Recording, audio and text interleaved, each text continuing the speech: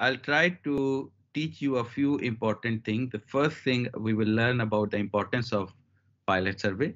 So what exactly pilot survey is and why we do it, what are the different components and how we can uh, develop a very good pilot survey. Okay, so this is uh, uh, more related to the data analysis. So we will see the type and the questionnaire data. What are the different types of the data? How we can use it in the uh, pilot survey or in the statistical analysis.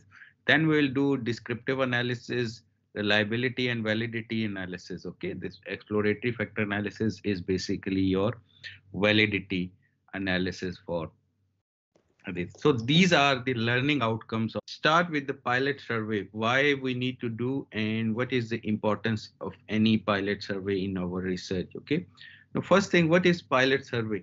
Actually, pilot survey, what we do, we, we send our questionnaire to a smaller population to a smaller population in order to test the validity and reliability of the questionnaire. A pilot survey is a mini survey where the researcher sends out a questionnaire to a smaller sample size. Okay, so that is very simple uh, understanding of the pilot survey. We try to set up a convenient sampling. What is convenient sampling? You can learn in the sampling procedures what convenient sampling is. But at this point, I believe you already have the sampling strategies in your mind, right? But there is one more. This is called pre-testing, okay? So pilot testing comes after the pre-testing. So I will explain a little bit about pre-testing and tell you what to do with the pre-testing and then I'll go with the pilot testing. Pilot survey is to give your questionnaire to a smaller sample size to collect data. But what would be that sample size? This is a very big question. What minimum number of questionnaire you need to collect for a pilot survey? So mark my word here. People usually say 30 to 35 are fair enough. You can collect 35. Okay. I agree to that statement, but it depends on many other factors which i'm going to explain in in the next slides in in the next uh, you know stage where we discuss about a few about the questionnaires okay so i'll tell you what would be the minimum sample size you need for a pilot survey okay it depends on the statistical procedures you are going to conduct for any data collected okay it, uh, no matter it is pilot or not so even for the pilot survey we need to see whether the test we are using meets the minimum requirement of the sample or not. Okay, so the 35, 25 to 35 is the normal procedure. The people, the, mostly people can uh, use this sample size or maximum 50. So this is a normal recommendation. But as I mentioned, it depends on many other situations or factors. I will discuss these factors in next uh, slides. Okay, so I believe the pilot survey is clear what is pilot survey, why we do it to establish, it's very simple to establish reliability and validity of the questionnaire, okay? And the data collection procedure. There are two things, reliability and validity of data collection procedure or of your questionnaire. Okay, so this is how we, this is why we do pilot survey because we don't want to be in the situation where we we analyze everything and then we realize okay our questionnaire is not correct at that time your data is already collected and you have not conducted pilot survey then you will be in, in, in great trouble so that's why it is better for all of us to do pilot survey uh, you know more accurately and follow the steps i'm going to teach you in this uh, session now let me go through quickly because uh, already uh, half an hour passed and uh, we have to discuss a few more things also and I need your input on each steps also. So that's why it, they, it may take long, longer time. So let's continue and do it a little bit uh, quick, okay? So maybe I'm just going through the information quickly. Now, when I talked about the questionnaire validation process, it depends on two step, steps, not one step. Okay, so we have uh, two steps for questionnaire validation. What are these steps? First step is very simple. we call it pre-testing. Now, pre-testing is you don't need a lot of people for pre-testing, but there are three important parts of the pre-testing, face validity, content validity, and criterion validity. These are three important concerns which you must need to check before you go for uh, pilot testing. Okay, not final survey. Final survey is third stage. First is pre-testing, then second is pilot, and then uh, you have your next step Okay, so let's talk about this thing. What is face validity? What is content validity? And what is criterion validity? Very simple. I will explain these with the, with some example also, and I need your uh, you know understanding also at that time.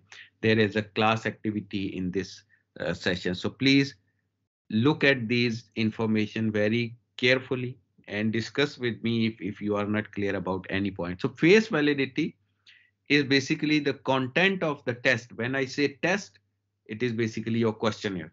So the content of the questionnaire appear to be suitable for its aims in general. Your questionnaire have the items or have the, the suitability uh, related to your uh, aims of the research. This is first thing. This is where I ask you, what do you mean by human recruitment determinants? So if you are talking about human recruitment determinants, but in your questionnaire, you are measuring something else, that questionnaire is not valid. Okay.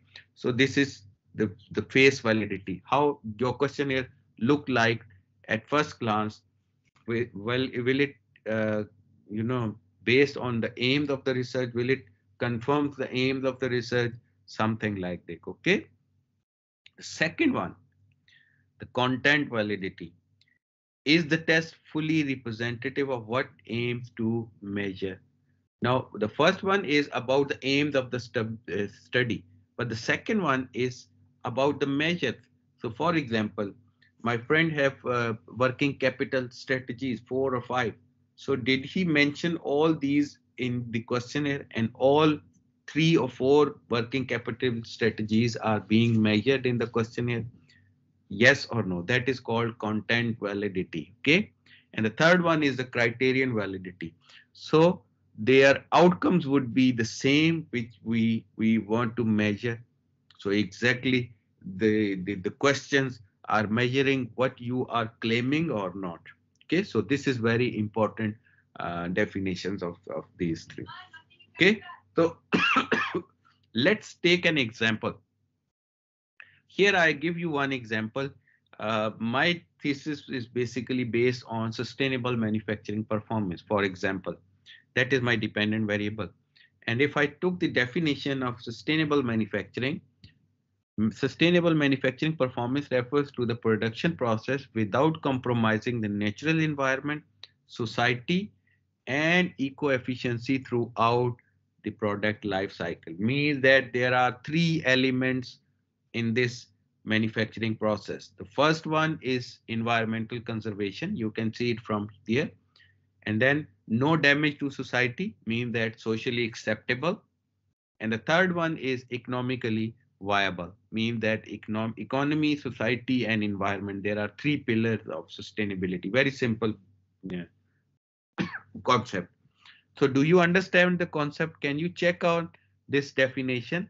Because in next slides, I will show you two different questionnaire and I will ask you, can you rate the content validity, face validity and criterion validity of each of these uh, items or questionnaires, okay? So, sir, can you please explain it again a little bit?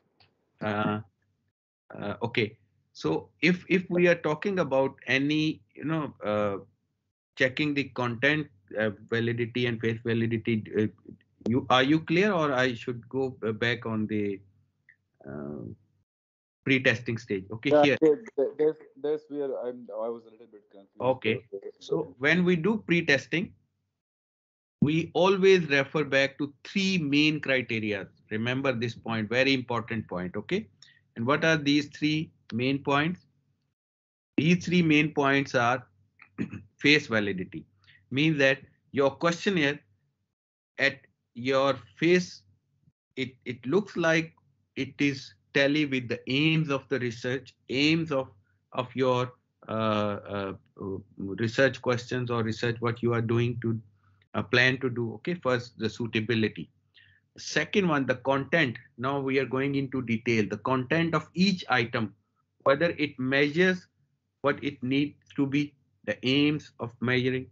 Okay, and finally, all those items exactly measuring the variables which you are uh, referring in your research. This is very important. And these three criteria is not just for you know the questionnaire. It is also for interviews. It is also for every measurement scale in the world, no matter what scale you are using. Even if you are using a meter to measure the length, it also follow these three criterias. Okay, it will be face validity, content, and criterion validity. Okay, so please look at these statements. They are very self-explanatory and try to, you know, uh, apply these on your questionnaire and I will move on and we will see some examples here. Okay. but remember again here, uh, you know, when I talk about the face validity, content and criterion validity, we need to know our variables, their uh, dimensions and their scope okay if we don't know them exactly we can't uh, tally these three um, you know criteria for pre-testing okay so although that the pre-testing is not directly part of this section but it is important yes Sir, actually, uh, by content validity, it means the contents of the questions, or uh, or the uh, you mean yes, like is content of the questions? Yes. Okay, okay, sir. Okay, because you have to phrase your question in a way that clearly, you know, it, it, this question is clearly relevant to measuring something. For example, if I'm I'm interviewing somebody and I'm asking, okay, do you think your industry is following standards for uh, reducing the the uh, uh you know the used material, new material, the requirement for new material and using the unvirgin material or used material in the production process. This question is basically direct question to understand or to measure whether the company is, is using recyclable material that affects the environment less, that reduce the resource utilization. Okay, so if they ask yes, it means that they they have uh, used material or recycled material in their production process that means that they are not using resources 100% they are reducing it 50% or less than that. It means that they are environmental friendly practices. So that question is basically very relevant. So how i'm going to craft that question? Before asking him i need to craft. Even i'm doing interviews even i'm doing uh, questionnaire, obviously we have to draft your, our question and that those questions should be directly relevant. That is called content validity. Okay, clear? Any further question here? Can we move on?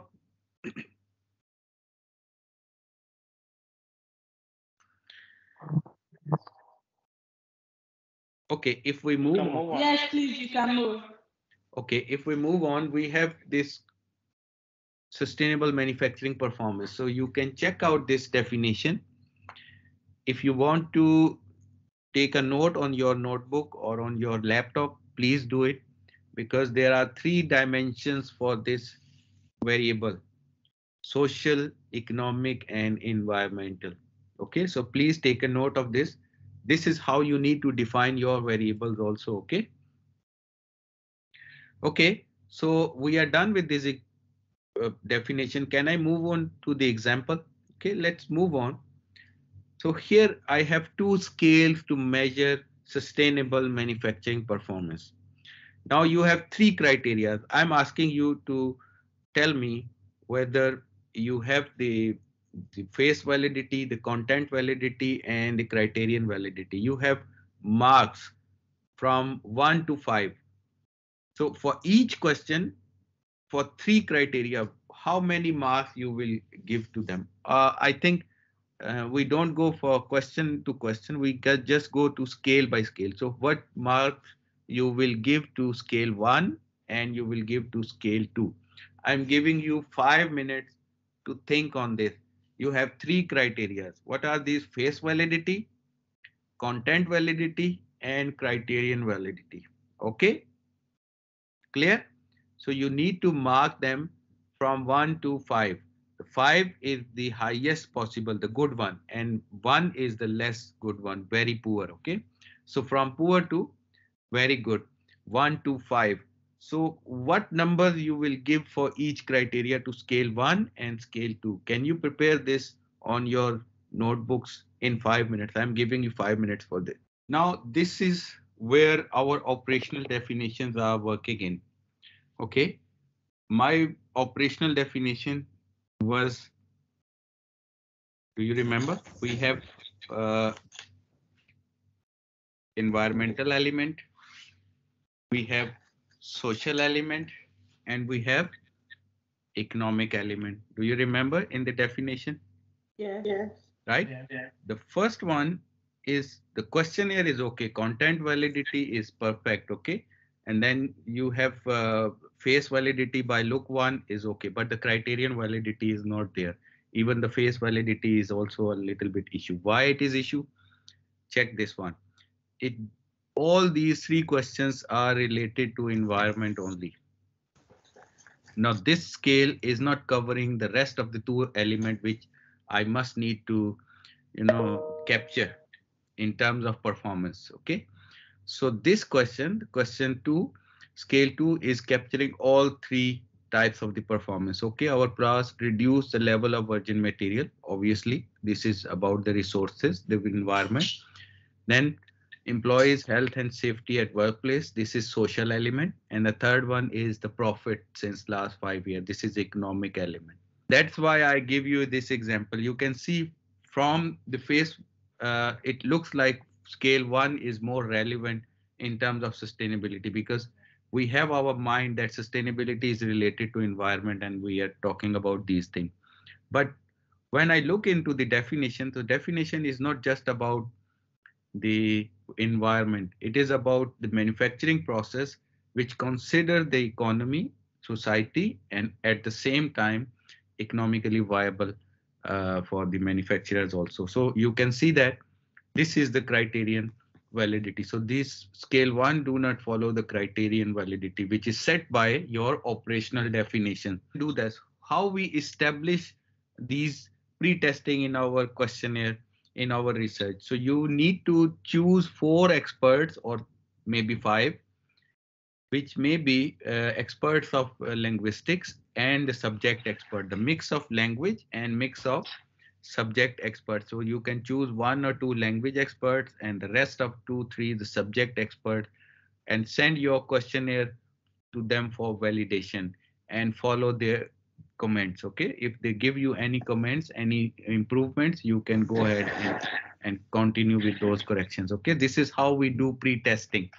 So five experts minimum is, is, is a requirement for pre-testing. So it's not just you develop your questionnaire and you ask for uh, the data collection. You need to go through the pre-testing. Okay, clear? Yeah. okay, let's move on. So here we establish one thing very simple in a very simple process. Okay, that uh, we need to follow the pre-testing. Now let's move on to the pilot testing. Now pre-testing is done. Next step would be going for a pilot testing. Now, pilot testing, as I mentioned, there are many concern about the pilot testing, which a few of them I will cover because uh, uh, it's it's uh, in this class I have to teach you how to do that also. That's why I, I'm not able to, you know, it, it limits my capacity to take everything in consideration. So I'm trying to give you the, the most important part which you must must must need to follow during your pilot survey okay? Pilot testing. First thing the pilot testing is basically collection of data from a limited number of people and then you will do your descriptive analysis just to test the normality skewness kurtosis all these things okay? Once you are done with this you will go with the reliability analysis. We use Cronbach alpha uh, for this purpose or the reliability test. And the next step would be the validity. These two EFA exploratory factor analysis and CFA confirmatory factor analysis are the part of your validity process. Okay, so reliability and validity of the questionnaire. This is what we are going to learn in SPSS uh, in this session. Okay, so this is how we do pre uh, pilot testing. So there are two steps: pre-testing, and the second one is pilot testing. Please remember this point. It's a very important point. Okay, so let's move on to the pilot testing concerns about the sample size. Now this is where we have a few important consideration. While we are talking about the sample size, we can't consider every sample size for, you know, mm, uh, pilot survey. Yes, we can consider, for example, let me give you back a slide for descriptive statistics because we are concerned with the mean mode median.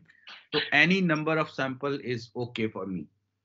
Reliability analysis, we use Cronbach alpha, which is um, insensitive to sampling up to some level, not fully, but up to some level. So that's why we don't need to go through the uh, uh large sample for reliability analysis also. But EFA and CFA, these are the two analyses which you can't perform until your sample have the limiter, a minimum requirement. It, it should meet the minimum requirement if you want to run the EFA, okay, if you want to run the EFA, your sample size should be more than your numbers of question in your questionnaire. Okay, why I'm saying this when I will show you the results, you will understand that part. Okay, so what is it? Your sample size must be more than your number of questions. For example, if you have 50 questions, so you can't take 35 sample as a sample because you can't run EFA for that. And even the CFA would be problem for that. Okay, so you need to get more sample for that. Okay, do you understand this point? So most mm-hmm. commonly when you do pilot survey, your sample should be more than your number of questions in your questionnaire. that is a very simple logic and technique okay right so how many questions do you have for example you have not the demographic question the question we need to run for the pilot testing not the the age gender these these are all right okay, okay, okay. the rest of the question which you use to measure your variable. For example i have 25 questions to measure my variable. So sample if 30 i'm fair enough. Good no problem we can proceed. But if it is less, you can't go uh, for the validity test. Okay, reliability still we can do, but we can't do uh, validity test. That is why most of the time when we do pilot testing, we just do the reliability analysis. And at your level, if you do the descriptive and the reliability analysis, it is fair enough. You don't need to go beyond this. But for accuracy point of view, you must need to do validity as well. So I will teach you both of them. It's your choice. You want to use both of them or you can just go with the reliability analysis. Okay. so that's that's the simple technique. Okay, now let's move on. So this is the basic concern about the sample size. I, I already explained a very simple rule for the sample size. I think there should be no further discussion on the sample size. If anybody asks you, what is your pilot survey sample size? And if you say 35 and he asks why 35, now you can give a very clear answer, right? So because my question number of questions was 30 and it is recommended that you should take any sample above than 30 for pilot survey in order to uh, run the reliability and validity both analysis okay? So it's simple answer. Okay. Now the second thing a very important concern data type. What type of data you are collecting that will also limit the ability of tests you are going to run on your analysis for example if you are running um, sorry if you are running correlation or regression, the analysis is correlation and regression. So in that case, regression, you can't run on the, uh, you know, um, um, non-continuous or uh, we also name it um, ordinal data, okay, nominal data. You need uh, interval or ratio data for this. So you need to understand what type of questionnaire are you using. If you are using um, you know, Likert scale one to five, agreed, strongly agreed, and disagreed. This type of questionnaire, this is called a Likert scale. So Likert scale is fine enough. You can use it because it follow a, a, a you know, um, um, basically we follow it on based on interval scale. So we can use all the statistics which is basically based on the interval scale. Although the nature of Likert is nominal, but we treat it as an interval scale. So it allow us to do all the statistical procedure. But here my question is, if you are using rating scale, so the statistics is different. You can't deal rating scale as you can deal uh, Likert scale. There are differences between these two types of the scales, okay? And then there are many, many, many different scales are there while you are developing your questionnaire. I'm not sure uh, you are using which scale, but it depends on your data, what type of data you are collecting and how this data can be utilized. Okay, remember, if you are using, for example, rating scale, and second person is using Likert scale, when we include that data or input that data in the system, that will reflect, for example, one to five. So one to five is same, but the results are same. The, the, the, the data sheet is same data entry is same, but interpretation of those results is very different because Likert scale more likely an interval scale and uh, your rating scale is more likely a nominal scale. So we need to check out whether uh, what type of the data we are using. Okay. And the final concern is what type of statistics you are using. If your sample size is too low, you can just go with the descriptive and reliability analysis. So I will try to cover these two in this uh, session, in this class. And if we, we have time, uh, I will go with the exploratory factor analysis and CFA as well. Otherwise, we can uh, take this opportunity on some other date and try to learn these two. Okay, so this is it. Uh, the basics I discuss the basics of data